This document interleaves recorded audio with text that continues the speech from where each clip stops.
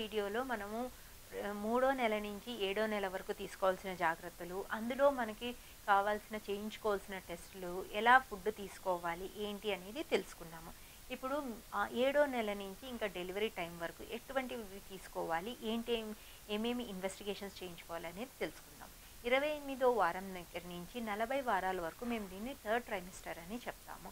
ఈ థర్డ్ ట్రైమిస్టర్లో కొన్ని స్పెసిఫిక్గా ఇంపార్టెంట్ ఇన్వెస్టిగేషన్స్ చేయించుకోవాలి కొన్ని స్కాన్లు చేయించుకోవాలి ఈ కొన్ని డెలివరీకి ప్రిపరేషన్ అనేది ఉంటుంది. కాబట్టి ఇరవై ఎనిమిదో వారం తర్వాత ముప్పై వారాల దగ్గర కొంతమందికి గ్రోత్ స్కాన్ అనేది లో రిస్క్ ఉన్న వాళ్ళకి రాసిస్తాం.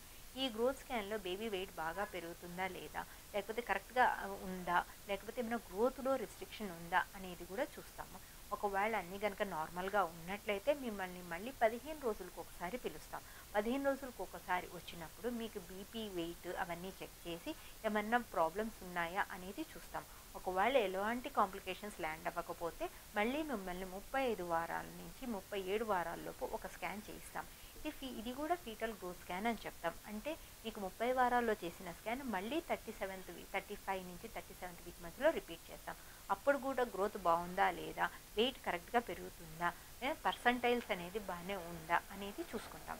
ఒకవేళ కనుక గ్రోత్ అన్నీ బాగున్నట్లయితే మేము ఇంకా మళ్ళీ స్కాన్ అనేది చెయ్యము. చెయ్యకుండా మీకు థర్టీ సిక్స్త్ వీక్ నుంచి మీకు ఎక్కడ డెలివరీ అవ్వాలనుకుంటున్నారు ఏమేం ప్రికాషన్స్ తీసుకోవాలి ఏమేం సైన్స్ అనేది ఉంటాయి అనేది మీకు క్లియర్గా కౌన్సిల్ చేస్తాం.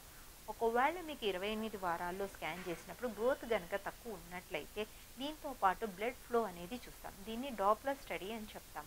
ఈ డోప్లర్ స్టడీలో మీకు ఎటువంటివైనా ఇంక్రీజ్డ్ రెసిస్టెన్స్ ఉందా? లేకపోతే డిక్రీజ్డ్ ఫ్లో ఉందా?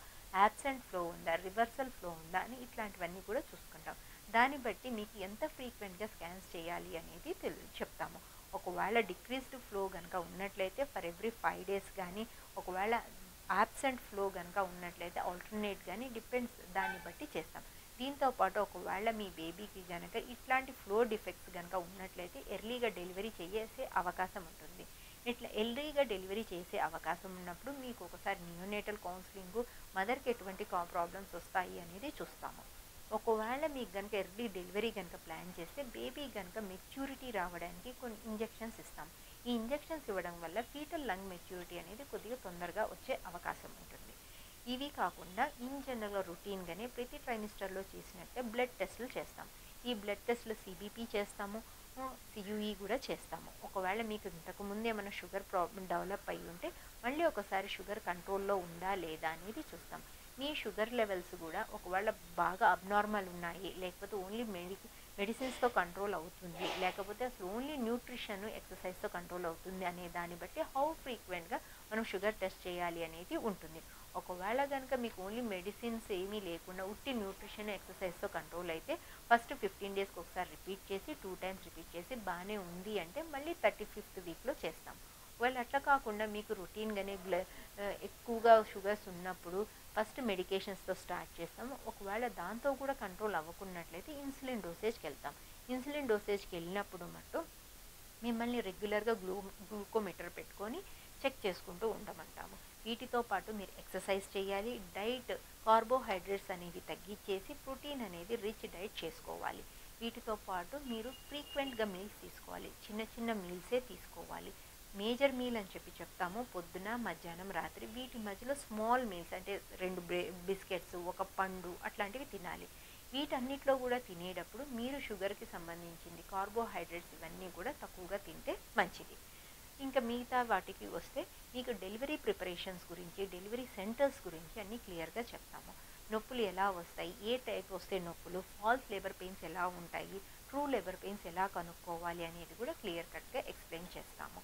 ఈ ఎక్స్ప్లెయిన్ చేసేటప్పుడు మామూలుగా పొట్ట అనేది టైట్గా అవుతుంది నడునొప్పి ఏమీ లేదు అనేది కనుక ఉన్నట్లయితే ఫాల్స్ లేబర్ పెయిన్స్ కింద చెప్తాం.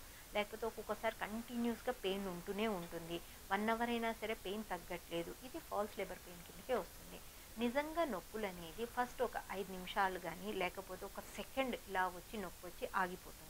మళ్ళీ నొప్పి వస్తుంది సో పది నిమిషాల్లో మీకు అట్లాంటివి ఒకటి రావచ్చు లేకపోతే అర్ధ గంటలో ఒకటి రావచ్చు. కానీ ఈ పెయిన్ వచ్చేటప్పుడు బ్యాక్ పెయిన్ కూడా స్టార్ట్ అవుతుంది.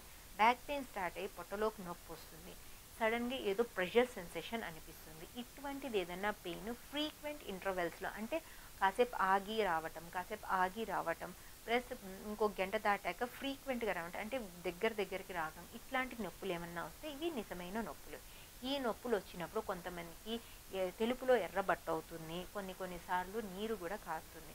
కాబట్టి మీకు ఎప్పుడైనా సరే నొప్పులు వచ్చినప్పుడు కానీ తెలుపులో ఎర్రబట్ట అయినప్పుడు కానీ లేకపోతే హెవీ బ్లీడింగ్ అవుతున్నప్పుడు కానీ లేకపోతే ఉమ్ము నీరు పోయినప్పుడు కానీ ఇమీడియట్గా డాక్టర్ దగ్గరికి వెళ్ళాలి. ఏ టైంలో అయినా ఎమర్జెన్సీకి వెళ్తే జనరల్గా డాక్టర్స్ చూస్తారు. ఇవే కాకుండా ఇరవై ఎనిమిది వారాల తర్వాత నుంచి ఫీటల్ కిక్ కౌంట్ పెట్టుకోమంటాం. ఈ ఫీటల్ కిక్ కౌంట్ అనేది బేబీ ఎన్నిసార్లు తిరుగుతుంది? ఎప్పటి నుంచి ఎన్నిసార్లు తిరుగుతుంది అనేది చూసుకోవాలి. ఇన్ జనరల్గా మేము కౌంట్ ఆఫ్ టెన్ అని చెప్తాం. పొద్దున్న తొమ్మిది గంటల నుంచి రాత్రి తొమ్మిది గంటల వరకు మీకు పది మూమెంట్స్ ఉంటే చాలు. ఒకవేళ అంతకన్నా తక్కువ ఉంటే మంచిది కాదు. ఇన్ జనరల్గా బేబీ అనేది రోజుకి వంద నుంచి రెండు వందల సార్లు కూడా తిరుగుతుంది. కానీ మదర్ పర్సెప్షన్ చేసేది మాత్రం తక్కువగా ఉంటాయి. కాబట్టి ఆ పర్సెప్షన్ చేసినప్పుడు పొద్దున్న తొమ్మిది గంటల నుంచి రాత్రి తొమ్మిది గంటల వరకు పది మూమెంట్స్ ఉంటే మీ బేబీ హెల్తీగా ఉందని అర్థం. ఏమైనా కాంప్లికేషన్స్ లాగా బీపీ కానీ షుగర్ కానీ బేబీ గ్రోత్ రిస్ట్రిక్షన్స్ కానీ ఉన్నట్లయితే ఈ కౌ కిక్ కౌంట్ అనేది మ్యాండేట్గా చూసుకోమని చెప్తాము. ఇంకా కాళ్ళ వాపులు కొంతమందికి వస్తాయి. ఈ కాళ్ళ వాపులు వస్తాయి కానీ మళ్ళీ వెంటనే తగ్గిపోతూ ఉంటాయి. ఎవరికైతే కాళ్ళ వాపులు కంటిన్యూస్గా ఉండి ఈ తగ్గటం లేదు వెయిట్ కూడా బాగా పెరుగుతున్నారు అన్న వాళ్ళకి బీపీ ఒకసారి చెక్ చేయించుకోవాల్సి వస్తుంది. ఒక్కొక్కసారి బీపీ ఎక్కువ ఉండడం వల్ల కూడా ఇట్లాంటి ప్రాబ్లమ్స్ అనేవి వస్తాయి. ఇవేమీ లేకుండా మీరు కనుక వాకింగ్ చేయగానే వాపులు అనేవి తగ్గిపోతే ఇది నార్మల్గానే ప్రెగ్నెన్సీలో నీరు అనేది చేరుతుంది. ఈ నీరు చేరడం వల్ల పీడలు ఇడిమా కానీ బాడీలో ఇడిమా కానీ వస్తుంది. కాబట్టి దీనికేం టెన్షన్ పడద్దు. కానీ బీపీ అనేది రెగ్యులర్గా చెక్ చేయించుకుంటూ ఉండండి. బీపీ కనుక నార్మల్ ఉన్నంత వరకు ఏం కాదు. ఇంకా బీపీ అనేది కనుక మీకు డెవలప్ అయితే ఆ బీపీకి సంబంధించినట్టు కొన్ని యూరిన్లో ప్రోటీన్ టెస్ట్లు చేస్తారు స్కానింగ్లు చేస్తారు చేసి ఎంత బీపీ ఉంది ఎంత డోసేజ్ మందులు పెట్టాలి అనేది కూడా డిసైడ్ చేస్తారు. ఒకవేళ బీపీ కనుక కంట్రోల్ అవ్వకుండా ఉన్నట్లయితే వాటికి సంబంధించిన మందులు కొన్ని రాసిస్తాము. దాన్ని బట్టి ఎప్పుడు డెలివరీ ప్లాన్ అనేది ఉంటుంది. ఒకవేళ బీపీ చాలా ఎక్కువగా ఉన్నట్లయితే ముప్పై ఏడు వారాలకి బీపీ మందులేం లేకుండా బోర్డర్ లైనే ఉంటే ముప్పై ఎనిమిది నుంచి ముప్పై తొమ్మిది వారాలకి అట్లా చూసుకొని డెలివరీ అనేది ప్లాన్ చేస్తాము.